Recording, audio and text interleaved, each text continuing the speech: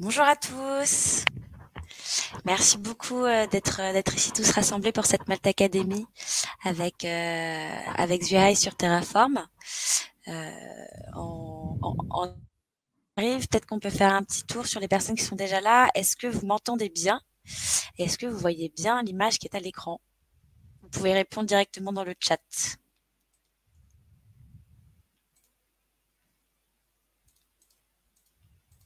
Ah. Parfait. C'est bon. Tout va bien. Tout le monde entend bien Zuhai également? Allô, allô? Ah, il y a Charles. Salut Charles. Bonjour Charles. Apparemment une connaissance. Bien sûr. Parfait. Euh, du coup, eh ben, on, enchanté à tous. Du coup, je m'appelle Chloé, je travaille dans l'équipe community euh, chez Malte. J'aide à la coordination des Malte Academies. Euh, et aujourd'hui, ce sera Zuhai qui va nous faire l'honneur d'animer cette Malte Academy euh, pour nous parler davantage du sujet euh, sur Terraform et quelles sont les bonnes pratiques, plutôt les choses trappes à, à éviter lors d'un déploiement automatisé dans le cloud. Et du coup, en attendant que tout le monde se connecte, je vais vous faire une rapide introduction euh, de Malte et ce que sont les Malte Academies pour ceux qui, qui débarquent un petit peu et qui ne connaissent pas. Euh, les Malte Academies sont proposées par Malte pour permettre à la communauté Malte, dans un premier temps, d'avoir accès à la formation rapide, à s'initier euh, et à découvrir des sujets variés. Euh, généralement qui sont fournis par d'autres freelances, soit de la plateforme, soit des, des experts métiers comme VI aujourd'hui. Et pour rappel, pour ceux qui ne connaisseraient pas forcément euh, Malte, euh, c'est une plateforme de mise en relation entre freelance et clients. On a la chance de collaborer aujourd'hui avec la plus grande communauté de freelance euh, en France et en Europe, puisqu'on est en Allemagne et en Espagne avec plus de 280 000 freelances. Et on travaille aujourd'hui avec plus de 90 000 clients. Voilà. Donc, euh, si aujourd'hui vous êtes freelance ou alors que vous pensez éventuellement à l'être, euh, notamment dans le domaine, euh, dans le métier de DevOps, qui est un tout nouveau métier et aujourd'hui on a beaucoup d'opportunités au sujet et parfois un peu de mal à trouver des bons profils. Donc, si vous êtes intéressé, n'hésitez pas à nous contacter. community@mod.com pour l'adresse email. voilà. Et puis maintenant, je vais laisser la parole à Zwihai et n'hésitez pas à vous poser vos questions dans l'onglet chat, euh, non, questions, dans l'onglet questions pour que ce soit plus facile après pour Zwihai à d'y répondre euh, et puis à converser dans le chat si jamais vous voulez réagir à, euh, l'intervention. Voilà. Donc bonne maths académie à tous et puis euh, Zwihai, je te laisse le micro. Merci. Alors, je vais reprendre la main. Est-ce qu'on voit mon écran? Alors, bonjour à tous, merci d'être venus à ma présentation. Oh là là, attention, voilà, c'est bon. C'est parti. Euh, alors, aujourd'hui, on va parler de Terraform, euh, mais surtout des, choses à éviter euh, lorsqu'on veut faire un déploiement automatisé dans le cloud. Hein. Les, les, termes sont très importants, donc déploiement automatisé dans le cloud. Si vous faites un déploiement à la main, euh, peut-être que euh, la suite ne va pas vous concerner. Euh, alors, je commence par me présenter. Qui suis-je? Je, m'appelle Juhaid donc je suis actuellement architecte Azure en freelance. Le mouton à cinq pattes, vous voyez là, c'est parce que je fais un peu de tout. Je fais du dev, je fais de la sécu, forcément quand on fait du, de l'archi Azure, je fais de l'Ops, je fais un peu de Kubernetes et évidemment, je fais du Terraform parce que je suis aujourd'hui là pour vous en parler. Euh, dans une vie antérieure, j'étais évangéliste euh, à Apache Cassandra pour euh, la startup DataStax. Ce petit détail aura son importance plus tard dans la présentation. Alors, pourquoi je fais cette présentation? Parce qu'en fait, je constate beaucoup de mauvaises pratiques euh, dans le monde de l'entreprise avec Terraform. Beaucoup, beaucoup, beaucoup. Une mauvaise utilisation de l'outil, des mauvaises philosophies et en fait, le but de cette présentation, c'est pour les lister, mais également pour vous euh, donner des, conseils pour les, éviter ces pièges. Alors, on va attaquer dans le vif du sujet en parlant du TF State. Tout le monde qui fait du Terraform connaît le TF State. Donc, à quoi ça sert?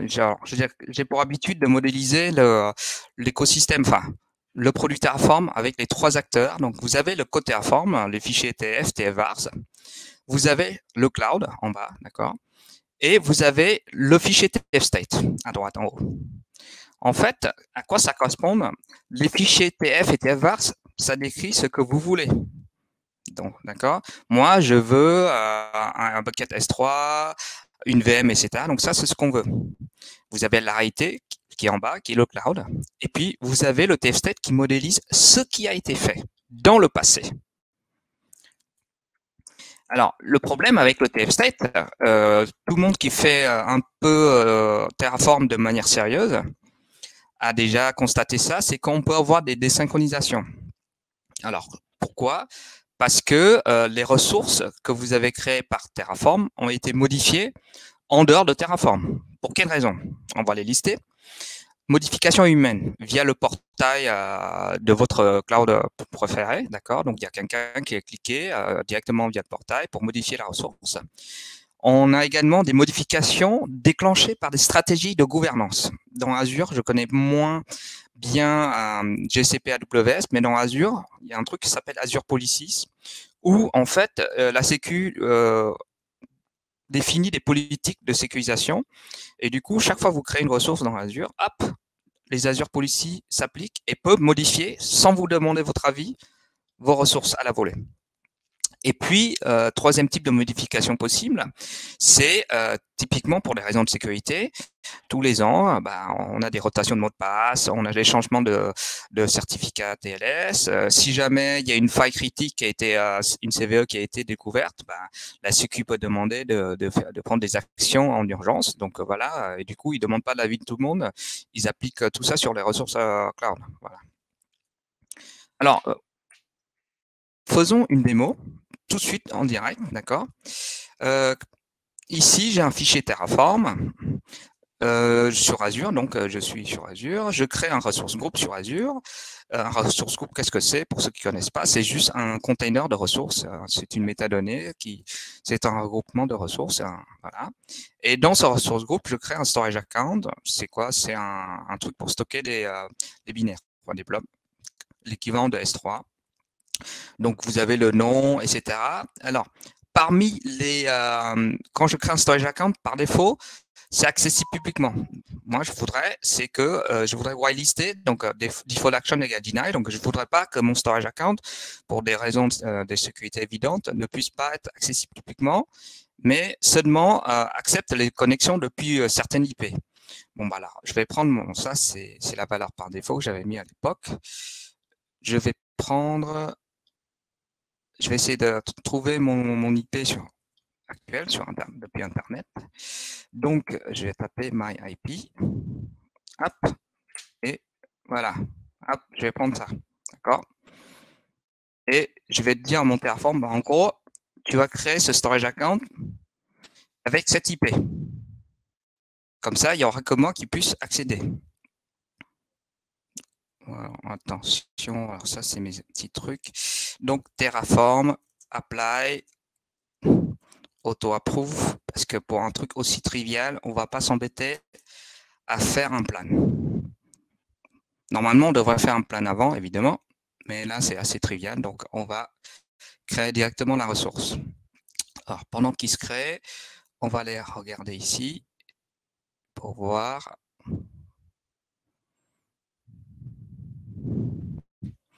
il met du temps, ce Terraform là.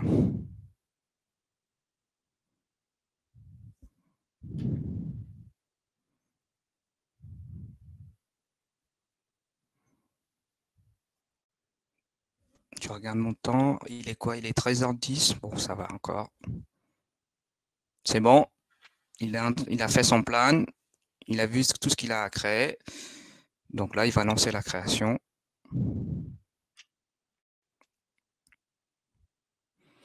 Donc normalement, je devrais avoir un ressource groupe. Alors ça, c'est le storage account qui s'appelle demo-poc-rg.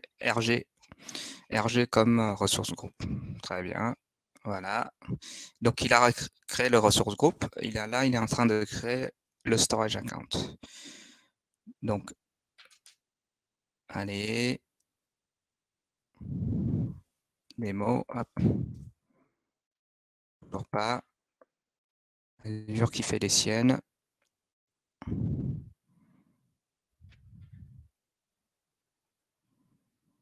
Hop, je vais sur POC. Hop. Voilà, démo POC RG, c'est bon.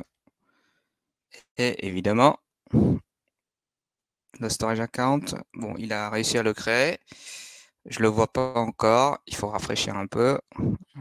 Dans le cloud, tout est asynchrone. C'est pas parce que c'est qu'on dit que c'est créé qu'on le voit.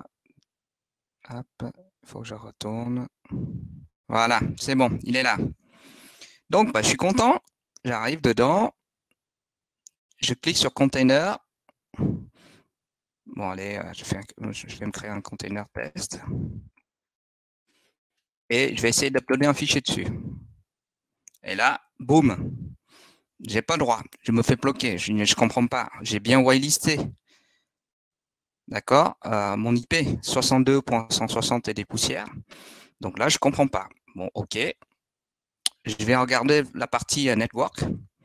Donc là, donc c'est pas, pas ouvert au public. Euh, sauf que mon IP 60.160 n'apparaît pas. À la place apparaît deux autres IP. Je ne sais pas d'où ça vient. Vous voyez? Là, j'ai mis 6260 et là, c'est pas cette valeur-là.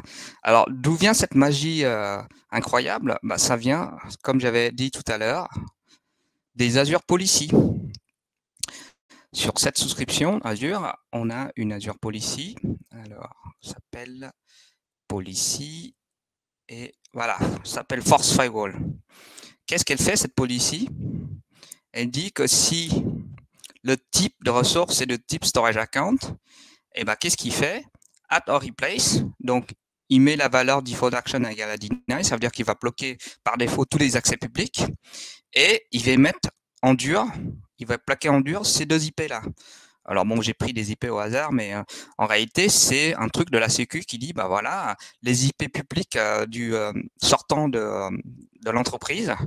typiquement, quand vous êtes dans une entreprise, vous vous connectez à Internet, en fait, vous sortez par un, par un proxy Internet.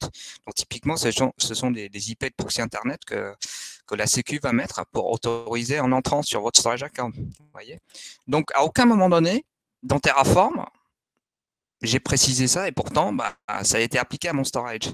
Donc voilà, vous avez l'exemple parfait où on a un usage complètement légitime de la Sécu, mais qui vient détruire complètement Terraform. Pourquoi? Pas parce que votre TF state, il est comme, enfin,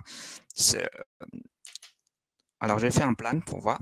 Ce, euh, le cycle de vie échappe complètement de modification, échappe complètement à Terraform.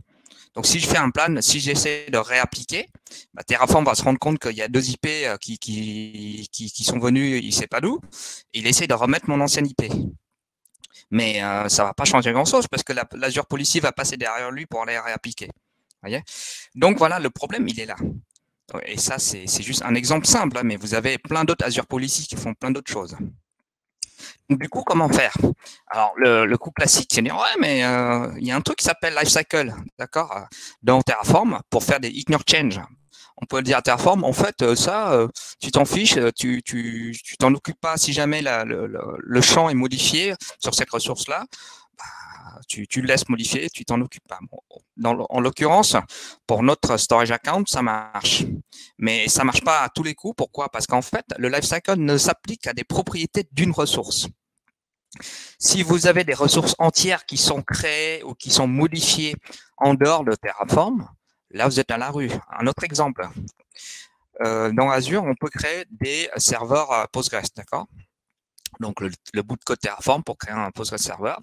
Alors Monsieur Azure, il est gentil, il permet, il fait du backup automatisé pour nous sur notre serveur Postgres. Et du coup, en cas de pépin, on peut cliquer sur le bouton Restore là pour restaurer le serveur. Très bien. Donc quand je clique sur le bouton Restore, il va me demander un nouveau nom de serveur. Ah ah, ça veut dire quoi ça? Ça veut dire que par philosophie et par choix euh, de, de conception assumé, Azure refuse de restaurer les données anciennes sur une instance de Postgres qui tourne.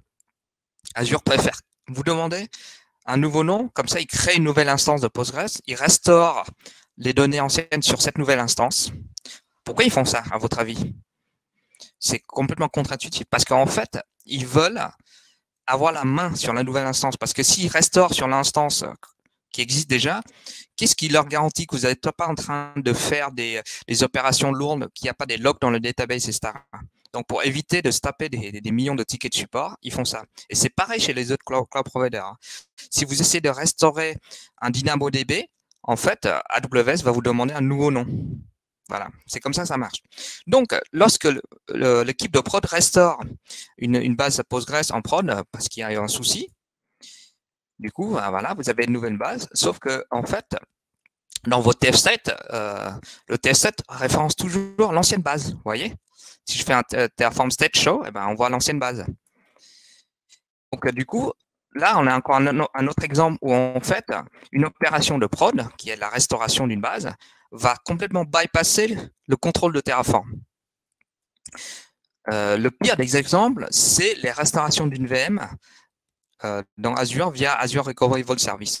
Alors, qu'est-ce que c'est Azure Recovery Vault Service? C'est un truc super sympa. On crée une VM, on l'enregistre dans ce service et Azure, en fait, ce qu'ils vont faire, c'est qu'ils vont vous backuper euh, votre disque OS et vos disques data à intervalles réguliers pour vous, automatiquement.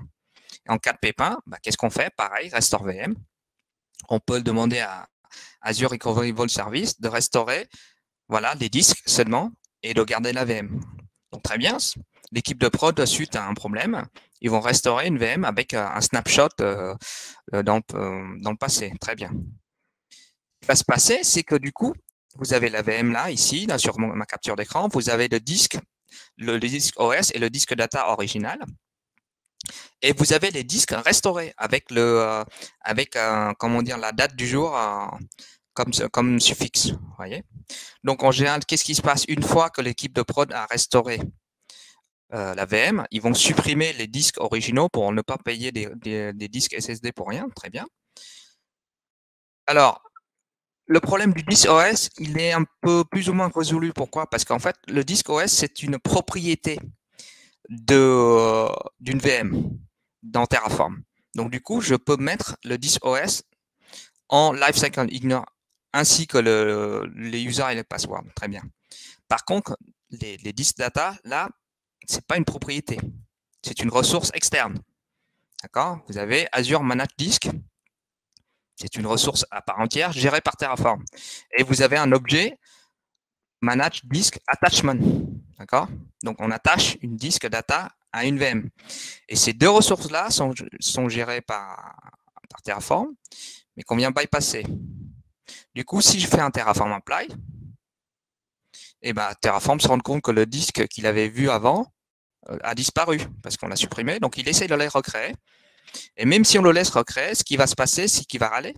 Parce que du coup, l'emplacement de l'attachement en fait à, une VM, vous pouvez attacher à des disques data à, plusieurs emplacements. Ben, l'emplacement, il est déjà utilisé par le, disque restauré par, Azure. Donc en fait, il faut les faire à la main, plein d'opérations manuelles, donc des faire des Terraform state remove pour enlever les anciens disques et des state import pour importer les nouveaux disques.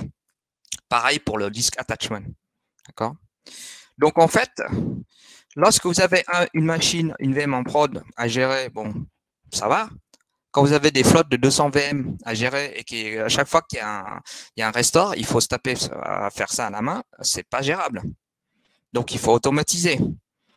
Moi, ce qu'on m'a demandé de faire, au final, comment j'ai pu automatiser ce machin-là? Bah, En écrivant du code, qu'est-ce que vous croyez? Du Python. D'accord? Donc, le code, qu'est-ce qu'il fait? Il liste tous les disques attachés à une VM après une restauration. Il parse le TF-state pour trouver l'ancien disque correspondant. Quand je dis il parse le TF-state, c'est pas tout à fait ça. Il fait un Terraform output-JSON. Il va parser en ligne de commande le, JSON, euh, le JSON qui est retourné. Et puis après, il enchaîne des Terraform state, RM et Terraform import. Voilà toujours en ligne de commande, via Python. Alors, les gens vont me dire, ouais, mais tu cherches des problèmes du euh, toute modification d'infra doit passer par Terraform. Ouais, mais bon, après, euh, le problème, c'est que si on dit ça, ça veut dire qu'on dit qu'il ne faut plus jamais toucher au portail cloud. Ce qui n'est pas entendable comme réponse.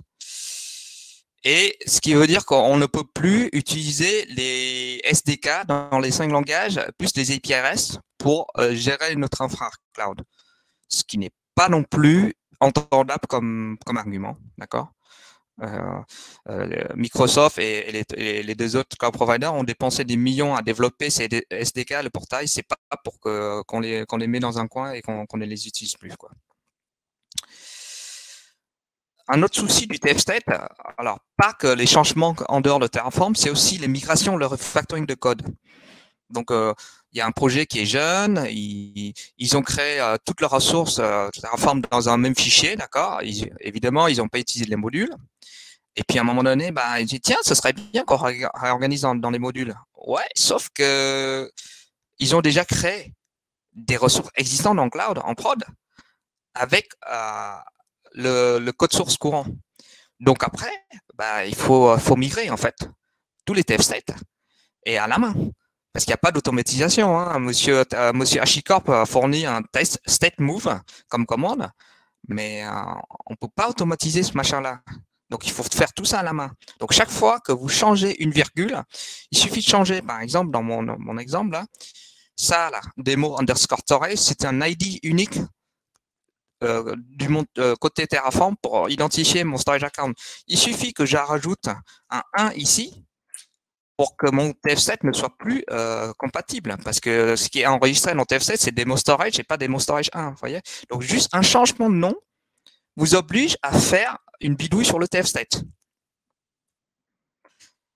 En fait, au final, ce qu'il faut comprendre, c'est que le TF state, en fait, s'il pose autant de problèmes, c'est parce qu'il y a un problème de conception à la base. C'est quoi le problème de conception? C'est que M. Terraform a essayé de forcer le triplet TF, TF state et le cloud. Le TF state, en fait, ça représente un état statique qui est mis à jour très rarement, seulement au prochain Terraform Apply Refresh. D'accord?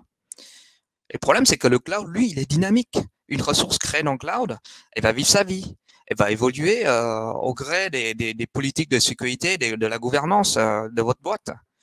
Or, on sait très bien que dans un, synchroniser des états dans un système distribué, parce que le cloud, c'est juste un gros système distribué géant, d'accord? C'est un problème difficile depuis 50 ans qu'on travaille dessus. D'accord? Donc là, euh, dire euh, ouais, bah, j'ai un état statique quelque part et j'espère qu'il va être à jour euh, avec mes ressources qui sont dynamiques, bah, c'est juste un rêve, quoi. C'est pas possible.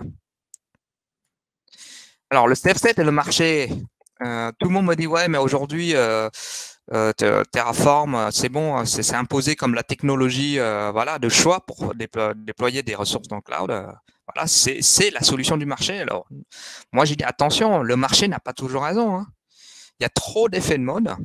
Les gens se lancent dedans sans comprendre les limites de l'outil, surtout. Et surtout, euh, l'industrie commence à se rendre compte. Par exemple, euh, j'ai entendu parler de cet outil Drift Control. Il y a une startup française qui s'est créée et qui propose cet outil. Qu'est-ce qu'il fait? Ce qu'il va faire, c'est qu'il va lister, il va scanner votre dev state avec vos, euh, votre infra actuelle dans, dans, dans, le cloud. Il va comparer, il va faire un delta, il va vous dire, tiens, il y a ça qui a changé, il y a ça qui a bougé, etc.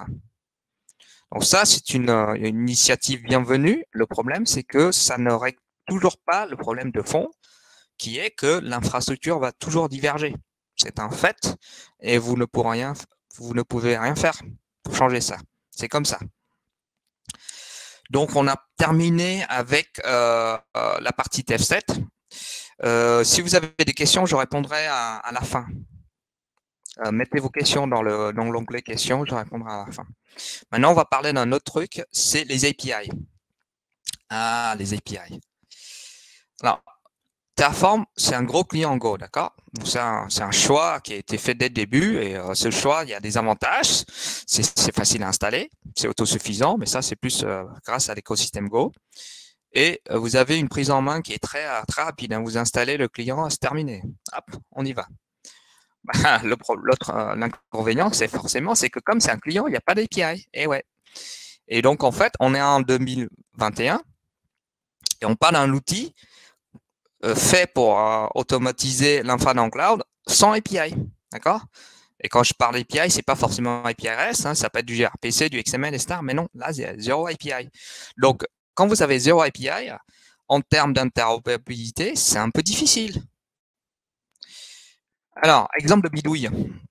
Ce qu'il faut comprendre, c'est que quand vous lancez un Terraform, euh, Apply, il faut lui donner des paramètres en entrée, ce qu'on appelle le, le, fameux fichier TFVARS, d'accord? En général, en termes d'automatisation, si vous faites à la main, vous pouvez lister tous les variables à la main, mais quand vous faites ça de manière automatisée, via un build automatisé, c'est rarement euh, possible de me faire un mode interactif. Donc, ce que les gens font, c'est ils créent un fichier TVARS, ils utilisent un système de templating à la Jinja 2 euh, en Python ou autre, peu importe, et ils valorisent le contenu de ce fichier TVARS dynamiquement au runtime, juste avant de lancer le euh, Terraform Apply. Ou alors, ils passent les variables en, comment dire, les, les variables Terraform en variables d'env. Alors, c'est pas terrible si vous avez des secrets à passer, évidemment. Alors, comment on récupère les, euh, les outputs en sortie? Bah, il y a une seule commande, ça s'appelle terraform input-json, et puis ben, on passe le JSON en, en std-out. Et c'est pas une blague. Moi, j'utilise, je suis sur Azure, donc j'utilise Azure DevOps. C'est un pipeline de build et de release. Et ils ont une, ils ont une, une step, ils ont une tâche, ils appellent ça Terraform Output. Moi, j'ai regardé dans le code source le code source de, ah, attendez, le code source de, cette tâche, en fait, écrit en, JS, ben, vous voyez bien ici, json.parse result.stdout. D'accord? Il n'y a pas de magie. En 2021, on se retrouve à parser du JSON dans le stdout de l'OS. Vous voyez euh, la folie. Ou alors, autre solution, il y a des gens qui, sont joueurs et disent, bah tiens, c'est pas grave, euh, mes outputs de Terraform, euh, pour éviter de les percer, bah, je vais écrire dans un storage, genre AWS S3 dans un bucket ou dans un blob dans Azure. Oui, mais si vous avez des outputs sensibles, genre les mots de passe, les credentials, vous faites comment? Vous, les vous les écrivez comme ça euh, dans un storage? Pareil, exporter. Les gens aussi, euh, ils, ont plein d'imagination, les gens. Hein. Ils utilisent la, la ressource local file et disent tiens, je vais créer un fichier env et je vais, euh, je vais, je vais exporter mes, mes variables dans le fichier env.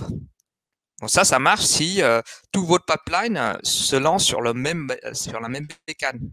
Si c'est si c'est à base de containers où chaque étape est, égale à un nouveau container, bah, là vous êtes mort. Donc pour résumer, en 2021, l'interopérabilité avec Terraform, c'est ça. En input, vous avez soit des variables d'env pour valoriser les TFVARs, soit un système de templating en input, soit vous parsez du JSON, stdout, soit vous écrivez vos variables dans un bucket ou un storage account, ou soit, encore une fois, les variables d'env locales. Alors, du coup, euh, il y avait des gens qui me disaient à l'époque, je ne comprenais pas, si tu as créé avec Terraform, il faut rester dans Terraform. Bah, en fait, ça s'explique pourquoi les gens disent ça. Parce qu'en fait, c'est tellement l'enfer de faire en dehors de Terraform. Hein. Vous comprenez ce que je viens de dire, c'est tellement l'enfer de faire l'interop que les gens préfèrent rester dans Terraform. Mais pour moi, c'est pas la bonne réponse, c'est pas c'est pas un argument viable parce que du coup, en gros, ça voudrait dire qu'on doit tout faire dans Terraform. C'est pas forcément euh, le bon outil pour tout faire. On va passer à un autre euh, chapitre qui est euh, des pièges, qui est le mélange control plane data plane. Encore une fois, si vous avez des questions, mettez dans l'onglet questions. Je répondrai tout à l'heure à la fin. Définition. Euh, qu'est-ce qu'on appelle par control plane et data plane? Le control plane dans le cloud, c'est ce qui gouverne la création et la configuration de l'infrastructure. D'accord? La configuration du contenant. Et la partie data plane, c'est la configuration du contenu des données d'une ressource cloud. Euh, comme exemple, pour une VM, le control plane va gouverner la taille de la VM, la région dans laquelle vous allez créer, son IP, son subnet, etc. Et la partie data plane d'une VM, bah, c'est quoi? C'est les comptes routes, euh, les packages installés. Pour un storage account Azure ou un, S3, un, bucket S3, le control plane, c'est le SKU, la région, les policies. Et le data plane, bah, c'est les objets dedans, quoi. Et le problème, c'est que Terraform mélange allègrement les deux. Alors, ça, c'est un grand classique euh, de Terraform, mon exemple. Donc, je voudrais créer un, comment s'appelle un, serveur Postgres, d'accord? Donc, la première chose que je vais faire, c'est je vais utiliser le, le provider euh, random string de Terraform pour créer mon, login et mon mot passe bien long comme il faut, avec 16 caractères, avec des trucs spéciaux, etc. Très bien. Et puis, comme je suis un grand garçon gentil et tout, que je pense à mes collègues, je dis, tiens, l'équipe a un key vault qui est fait pour stocker les secrets. Donc, moi, je suis quelqu'un de bien, je pense aux autres. Donc, qu'est-ce que je fais dans mon Terraform? Bah, Je dis, bah, tiens, puisque c'est comme ça, je vais pousser mes secrets générés par Terraform dans le Key Vault. Très bien. Donc parfait, ça veut dire que plus tard, mes collègues qui veulent utiliser, euh, euh, qui veulent se connecter au Postgres, bah, ils vont lire dans Vault le login et le mot de passe. Parfait. Qu'est-ce qui peut mal tourner, à votre avis? Bah, au bout d'un an, la Sécu demande de faire tourner tous les secrets parce que, je sais pas, pour X raison, il y avait une CVE sur euh, Postgres dans Azure, j'en sais rien. Peu importe. Mais c'est une demande valable. C'est une demande valable. Ou même euh, la politique de la, Sécu de la maison voudrait qu'on change les mots de passe tous les ans.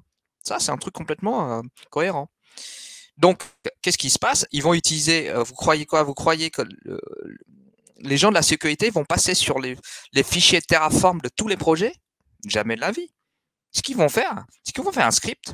Ils vont faire euh, avec le, client euh, Azure, ils vont faire un update admin password, d'accord? Et euh, éventuellement, ils vont mettre à jour votre key vault parce que normalement, si vous avez tagué vos ressources comme il faut, ils sauraient retrouver votre, votre key vault pour, pour mettre à jour le, le password. Sauf que la prochaine fois que vous faites un Terraform Apply, bah bim, ça va écraser. Ben oui, ça va écraser le mot de passe qui a été changé. Et voilà. Control plane, data plane. Alors, petite galerie des, des horreurs, hein, j'ai vu ça sur Internet hein, et même sur les projets. Il y a des gens qui se disent tiens, je vais créer une instance de base de données genre Postgres. Et puis bon, euh, comme c'est pratique, je vais utiliser le local exec pour exécuter un script SQL pour initialiser la base. Super. Comme ça, c'est pratique. Euh, quand je livre ma database, le schéma, il est déjà créé. L'équipe n'a plus qu'à l'utiliser. Ouais, mais sauf que j'ai posé la question au collègue qui fait ça. Est-ce que qu'est-ce qui se passe le jour où l'équipe applicative voudrait changer le schéma de la base Il faudrait qu'il revienne vers toi, le mec de l'infra, pour que tu modifies ton script à la forme. Vous voyez le, mélange des gens là? On crée une base et en même temps on, initialise le, schéma. C'est deux, concepts différents. C'est deux responsabilités différentes. Évidemment, euh, il y a encore pire. Hein. Il y a des gens qui utilisent des nulles ressources dans Terraform. Euh, ils créent un, cluster Kubernetes dans Terraform et puis après, bah, ils disent tiens, je vais utiliser Terraform pour faire un Helm install, euh, pour installer des, charts et tout dans mon cube. Bah, super. Et puis, qu'est-ce qui se passe si jamais euh, les, les, mecs ils vont modifier, etc. Si jamais je veux modifier mon, mon, mon chart à l'installation, je vais me faire un autre chart, il faut que je revienne vers mon fichier Terraform, c'est ça? Pareil, Monsieur HashiCorp fournit des providers pour aller modifier les blobs, donc typiquement du data plane, dans vos ressources euh, du cloud. Alors, avant d'utiliser ce genre de provider, posez-vous la question est-ce que vous êtes absolument sûr que les valeurs que vous allez écrire avec ce, genre de provider sont des valeurs immutables? Donc euh, genre typiquement des valeurs de, conf, et ne seront jamais modifiées. Parce que si c'est pas mutable, parce que si qu'un cas de l'équipe de dev va les modifier, vous courez à la catastrophe. Oui, parce que la prochaine fois vous faites un apply, ça va, ça va, ça va effacer sa modification. D'accord? Et cette confusion des gens, si vous voulez, l'exemple vient d'en haut. C'est monsieur HashiCorp qui a fourni le Helm Provider. C'est officiel. Hein. HashiCorp Helm, hein. c'est même pas un provider euh, de quelqu'un qui l'a créé, c'est HashiCorp directement qui est fourni. Donc en gros, Monsieur HashiCorp est en train de dire, les outils de continuous deployment comme Argo CD, en fait, il n'y a pas besoin. On va tous utiliser, on va tous utiliser Terraform pour déployer du Helm dans, dans Cube. Vous comprenez le problème? Et pourquoi, pourquoi Monsieur HashiCorp fait ça? Alors il y a pire, hein, ils sont en train de, ils, veulent mettre carrément des, manifestes Kubernetes dans Terraform. Typiquement, euh, si vous faites un peu de Kubernetes, vous savez que vous avez des, manifestes sous format des fichiers YAML, quoi. Et là, Monsieur HashiCorp dit, oh, mais en fait, euh, tes fichiers YAML, tu peux les faire euh, en HashiCorp directement, enfin HCL, le langage de HashiCorp. Et pourquoi Monsieur HashiCorp fait ça? Parce qu'en fait, il faut comprendre que HashiCorp, c'est une startup, d'accord, euh, par des VC américains, des capitaux risques. Et donc, en général, les capitaux risques, quand ils financent une startup, Ils veulent un ROI attendu avec des effets multiplicateurs. Ils vont pas financer une startup si, euh, si c'est pour faire x2. Ça les intéresse pas. Ils veulent faire x10, x100, évidemment. Bon, x100, euh, c'est exceptionnel, hein, mais ils veulent un, truc en x10, quoi. Et du coup, quand vous avez un produit technologique, quand vous avez un software, pour faire une croissance de x10, il n'y a pas de magie vous devez sortir de votre marché pour conquérir des nouveaux marchés. Si vous restez strictement à l'intérieur de votre marché, même si vous êtes, euh, comment dire, leader, c'est très très dur de faire x10 en fait. À moins que c'est un nouveau marché complètement en expansion forte.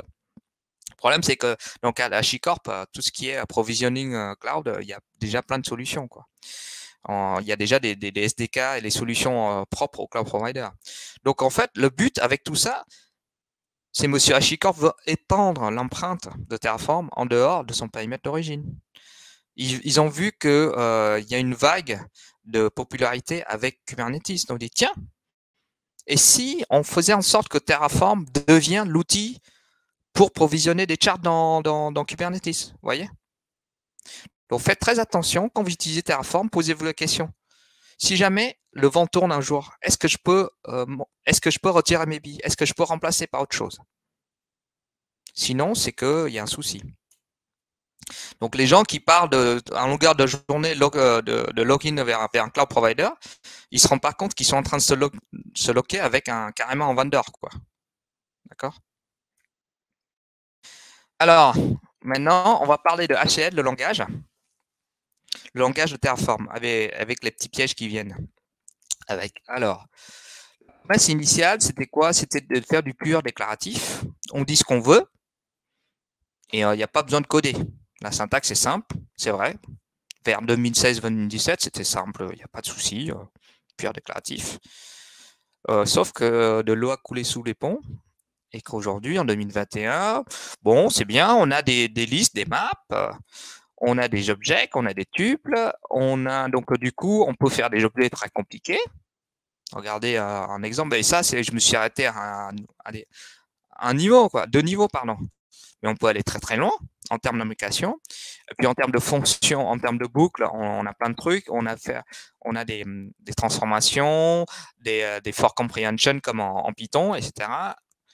Et puis en termes de fonctions, là, c'est la totale. Hein. Vous avez des fonctions numériques, des fonctions de chaîne de caractères, etc. Et si je zoome juste sur les fonctions, sur les collections, il y en a un paquet. Hein. Il y a du zip map, etc. Alors, mais euh, les gens vont me dire, mais de quoi tu te plains hein? Plus on a de fonctions, mieux ce sera. Certes, certes. Mais euh, du coup, en fait, la promesse initiale du déclaratif, euh, elle est où là? Parce que là, ce que je suis en train de faire avec toutes ces fonctions, c'est l'impératif. On est en train de faire des if avec des boucles for, avec des, fonctions de, mapping, etc. C'est de l'impératif, ça. D'accord? Évidemment, quand on réinvente la roue, on, réinvente un nouveau langage, eh ben, on se tape euh, bah, les trucs qui sont déjà résolus depuis 50 ans. Un exemple concret, je définis une type, une variable de, type liste de string. Très bien. Et du coup, dans, mon bloc local, j'ai dit bah, identity IDs, si c'est non nul, et si c'est non vide, non nul et non vide, donc euh, pas de chaîne euh, de liste vide, alors c'est telle valeur. Sinon, c'est euh, ma, variable locale, c'est une autre valeur. A priori, si vous faites un peu de programmation, ce truc-là est ultra classique.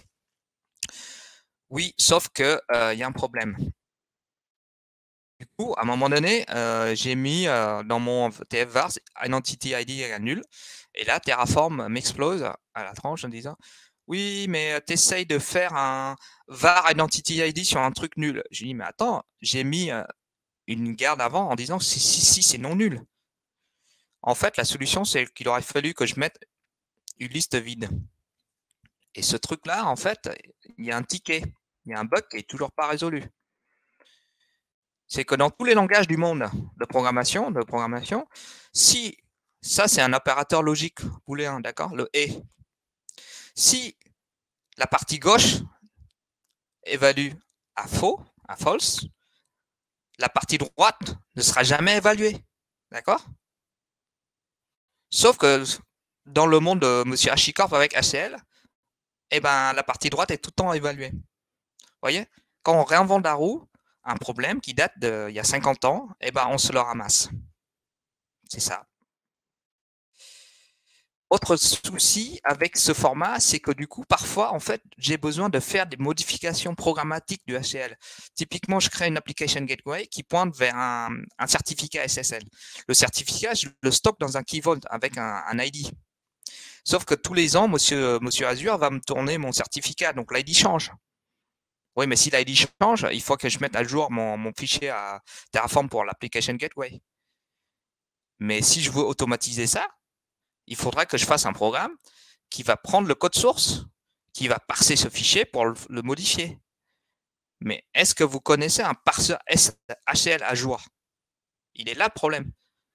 C'est que c'est un langage, c'est même pas c'est même pas normalisé en fait. Si c'était un YAML, si c'était un JSON, j'aurais trouvé 36 000 parseurs sur le marché, quel prochain langage Là, on parle d'un langage propriétaire. Oui, ils ont publié leur spec quelque part. Mais je suis désolé, moi, j'ai n'ai pas trouvé de parseur à jour. Il y en a des parseurs, mais euh, ils, sont toujours en retard. Si vous utilisez les dernières versions de Terraform 1.x, bah, bah, voilà, il y a des nouvelles features qui ne sont pas couvertes. Donc, je ne pourrais pas parser mon fichier. Tout cela, tous les points que j'ai mentionnés là, en fait, au final, il y a un problème beaucoup plus général, c'est des problèmes de gouvernance.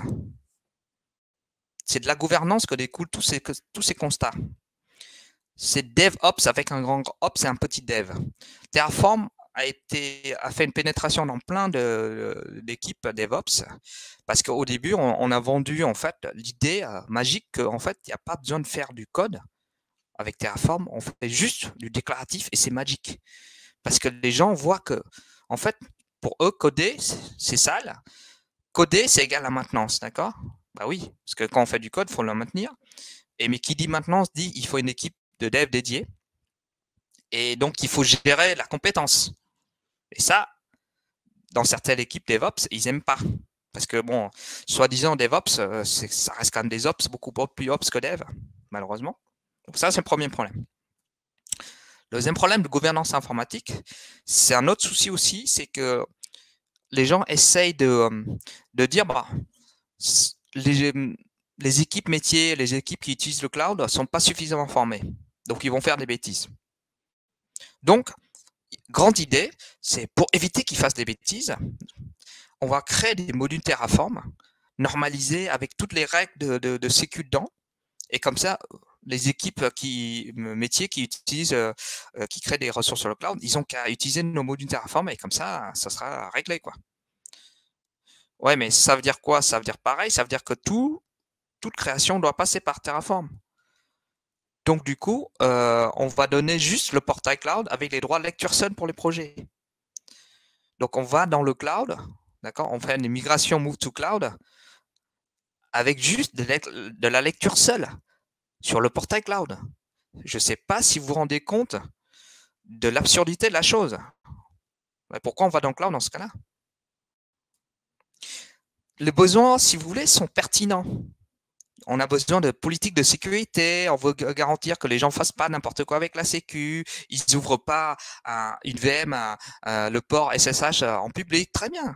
Il y a aussi, euh, mais ce genre de besoin, on a des outils pour faire ça, on a Azure Policies pour faire ça vous avez, je vous avais fait la démo tout à l'heure. S'il n'y a pas Azure Policies, on peut faire de l'automation pour remédier. On peut faire un runbook qui tourne toutes les heures, qui scanne tous les ports ou scanne toutes les VM, et puis dès qu'il y a un port qui est ouvert, pam, pam, ça ferme automatiquement. On a des logs d'audit pour faire ça. Le côté, FinOps, ça veut dire, oui, bah, les gens, ils créent n'importe quoi, ils, ne nettoient pas, ça coûte de l'argent. Bah, pareil, on a des API de billing, on a du quota, on a du alerting, on a tout pour, pour répondre à ces besoins. Terraform ne doit pas être utilisé pour répondre à ses besoins transverses. D'accord?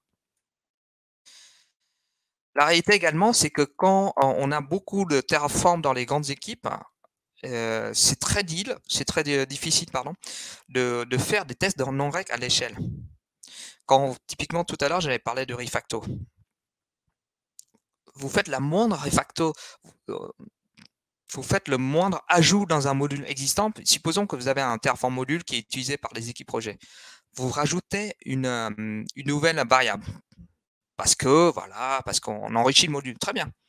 Sauf qu'en permanence, on est obligé de faire la variable avec une valeur par défaut égale nulle. Pourquoi? Pas parce que les, les, projets qui utilisent l'ancienne version du module, en fait, bah, s'ils tirent et qu'il y a une nouvelle variable, ben, ce qui, qui n'est pas valorisé, ça va, leur, ça va leur péter leur déploiement. Donc, on est obligé de mettre une valeur par défaut égale à nulle à la variable, à la nouvelle variable. Mais qu'est-ce que ça implique? Ça implique que dans notre code Terraform, dans le module, on a des nunchecks de partout. D'accord? Et donc, pour faire du refacto de tout ça à grande échelle avec plein d'infra-existants, c'est très compliqué on déploie nos, nos, infra via Terraform via Azure DevOps en fait. On utilise Azure DevOps et on, fait des Terraform Apply. Mais le problème, c'est qu'en pratique, quand c'est de la prod, on fait jamais du apply euh, auto-approve en Avoc. C'est trop dangereux. On s'est rendu compte que des fois, ça, ça, ça supprimait des ressources en prod et c'est la catastrophe. Donc, au final, même si on a tout un, comment dire, tout est des, euh, toutes des pipelines de bulles automatisées tout. Quand c'est la prod, à chaque fois qu'on fait une mise à jour, on est obligé de faire un Terraform plan à la main avant de faire un apply. Donc au final, tout notre pipeline de bulles automatisé, il ne sert pas vraiment parce qu'à chaque fois, on est obligé de passer par une étape manuelle pour vérifier que rien ne pète en prod.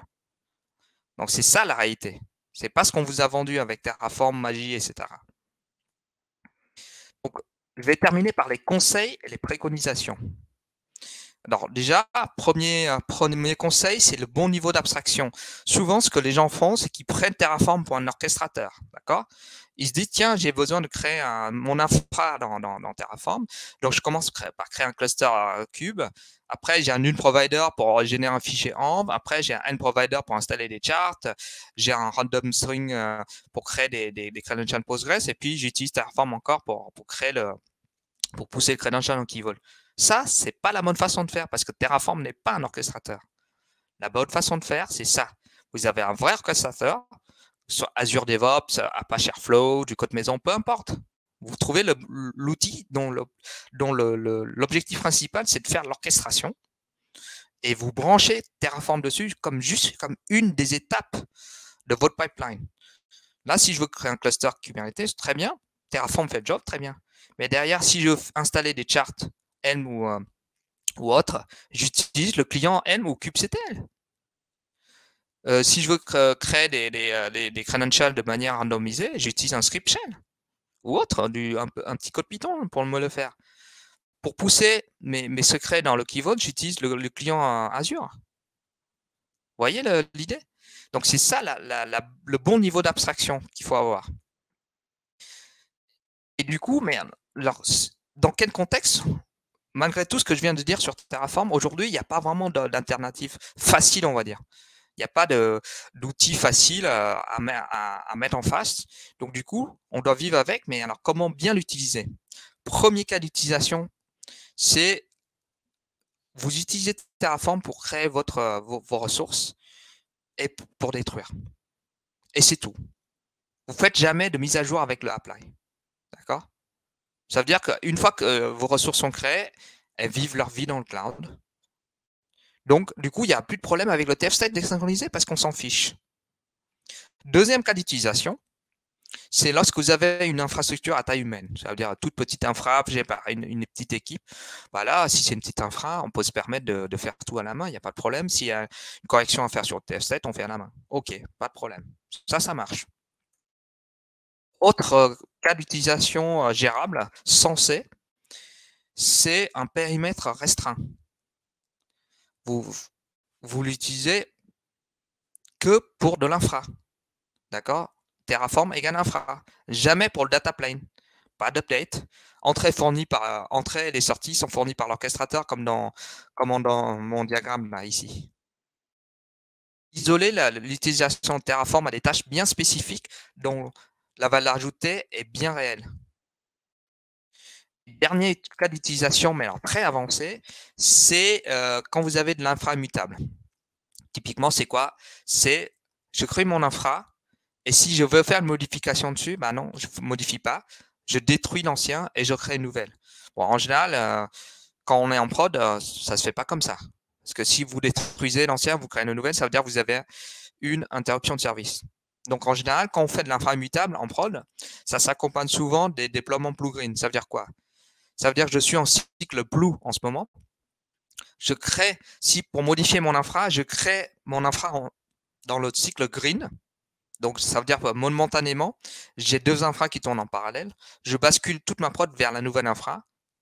Et après, je supprime l'infra du cycle blue et vice versa. D'accord? Mais pour faire ça, à l'échelle, il faut une grande maturité de, l'équipe euh, qui, gère ça. D'accord? C'est pas donné à tout le monde. Donc voilà, j'ai terminé ma présentation. On est à 51, c'est parfait. Il nous reste 10 minutes. Je vais vous reprendre vos questions et je vais les répondre. Il n'y a pas de questions? Ah, Le chat? Alors, en cas de désaccord entre le TF et l'infra, le test permet de savoir si c'est l'infra ou la description de la forme qui a changé. Ce n'est pas négligeable. Euh, oui, tout à fait. Tout à fait. Mais le problème, c'est que euh, ou la description de ta firme qui a changé. Le problème, c'est qu'il y a des, comme j'ai montré par mes exemples, il y a des modifications qui échappent complètement à Terraform. Et ces modifications-là, c'est elles qui, doivent s'appliquer et elles ont leur sens. Alors, François Bayard, il me semble que vol HashiCorp permet d'éviter env. Euh, oui, alors j'ai euh, entendu parler du, produit vol de, de HashiCorp, c'est pour gérer les secrets. Je ne savais pas qu'on pouvait euh, éviter de, passer par TFVARS env, pourquoi pas. Mais ça reste quand même de faire passer des arguments, des paramètres via un produit externe. Pour M, alors je viens qui dit pour M, il existe un provider Terraform dédié, oui. Quel est le problème d'utiliser Terraform pour Kubernetes bah, C'est pas fait pour. C'est toujours le, débat control plane data plane. Parce que euh, Cube a son propre écosystème de Helm, d'Argo CD. J'en ai parlé d'Argo CD. Argo CD, c'est un, outil pour déployer automatiquement, genre c'est basé sur GitOps. Euh, vous faites des commits sur Git. Le, truc, il, détecte les changements, euh, il déploie via, via des, connecteurs vers, euh, directement sur votre cluster des, des, des, charts ou, des, ou des, des manifestes directement. Donc, il y a des outils dédiés pour ça. Et là, on est en train de dire, on utilise un, outil, Terraform, c'est un outil pour déployer un infra, pour gérer le côté applicatif. Parce que pour moi, tout ce qui est chart, Kubernetes, c'est de l'applicatif, c'est pas l'infra. Alors, Dominique Dumont qui dit, il vaut mieux mettre secret dans un YAM et importer ces données dans le HCL. Mettre le secret dans un YAM et importer ces données dans le HCL. J'ai pas compris euh, mettre un secret dans un YAM, un YAML. Euh, non, parce que si ton YAML il est commité sur un Git, ça veut dire ton secret, il va être visible sur un Git. C'est pas c'est pas idéal, à moins que le YAML soit généré euh, dynamiquement. Alors là, dans ce cas-là, pourquoi pas. Alors Alvaro Atias qui dit est dans une variable groupe dans la bibliothèque, j'ai pas compris. J'ai pas compris, Alvaro. Faudrait que tu ta question. François Bayard qui dit Je viens d'utiliser pour le gérer. Ce qui est intéressant pour le testing, bah, pas top pour la production. François Bayard qui dit TF, ça impose une rigueur stricte et d'avoir une seule vérité, celle du TF. Du coup, en QA ou validation, c'est top pour la réalité. Mais en production, tu souvent des différents outils de management. Bah oui, bah oui, bah oui, bah oui, bah oui. Tous mes exemples de leur prod, là, les gars, c'est des, des exemples valables. On peut pas on peut pas balayer ça d'un revers de la main. Le coup des mecs, la sécu qui vont faire tourner les mots de passe parce qu'il y a une CVE qui est découverte. Vous croyez que les mecs, ils vont aller sur chaque projet, prendre euh, chaque fichier TF pour le modifier? Mais jamais de la vie. Vous vivez dans un monde virtuel, les gens. Hein. Jamais de la vie. La, prod, c'est ça. Hein. Merci pour la, la, formation intéressante. Bonne presse. Voilà. Alors, Alvaro est en train de préciser sa question. J'attends qu'il finisse sa question pour répondre. Alors, dans le pipeline Azure DevOps, il a la section bibliothèque et dans le et dedans, on peut créer un groupe de variables avec des valeurs qui sont remplacées dans Terraform. Oui, tout à fait. Mais moi, j'utilise Azure DevOps, tout à fait. Et euh, oui, oui, il y a, une tâche qui s'appelle replace variable. Est-ce que c'est que c'est ce que je fais Ça veut dire que je mets euh, le TFVARS, en fait, je, mets le, système de, templating là. Et euh, je, je, remplace tout dans le pipeline Azure DevOps en runtime avec les, euh, euh, les, les, valeurs non TFR. C'est ça, c'est exactement ça qu'on utilise. Effectivement, il y a, de toute façon, il n'y a pas 36 000 solutions. Hein. On a fait le tour. Hein. C'est soit variable d'env, soit système de templating du TFR.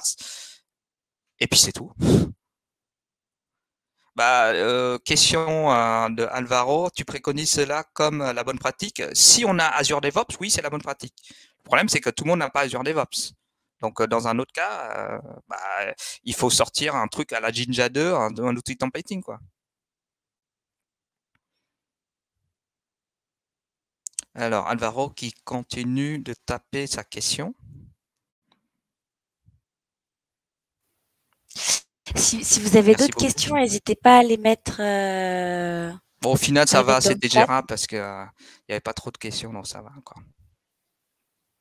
Merci pour la présentation. Elle montre bien des problèmes organisationnels DevOps Sécu non résolus par Terraform. Bah oui, Terraform ne fait que cacher les problèmes de gouvernance sous, mettre la poussière sous le tapis. Mais les vrais problèmes sont là. Les vrais problèmes de gouvernance sont là. Et demain, on, on, on prendra un autre outil que Terraform euh, ça va pas résoudre le problème de gouvernance. Typiquement, quand je disais que le manque de compétences des gens, eh ben, les, équipes, euh, les équipes de gouvernance, ils veulent tout euh, faire passer par Terraform pour gérer la sécu. Bah, c'est pas la bonne solution parce que si les gens manquent de compétences, il faut les former. C'est ça la vraie, la, vraie solution. Et pas cacher, faire du sur, surinvestissement sur l'outillage. Parce que demain, l'outillage va changer, il va falloir redévelopper, surinvestir sur le nouvel outillage. Et on n'aura pas résolu le problème de fond. Voilà, voilà. Charles est en train d'avoir répondu à toutes ces questions. Est-ce qu'il y a d'autres personnes euh, qui souhaiteraient poser une question? Alors Charles est en train de taper quelque chose, on va, on va laisser finir.